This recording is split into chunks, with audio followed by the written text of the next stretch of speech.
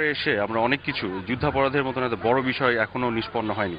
এইখানে আমরা একটা জোরালো দাবি জানাতে চাই এবং এই প্রজন্মকে উদ্বুদ্ধ করতে চাই তারা যাতে এই দাবির পক্ষে থাকে। আহ, সরকারের প্রতি আমাদের দাবি এবং এর বাইরে যারা আছেন যারা এর বিপক্ষে কাজ করছেন বা যুদ্ধাপরাধের বিচারে বিপক্ষে কাজ করছেন আমরা তাদের বিপক্ষেও একটা জোয়ার তৈরি করতে চাই।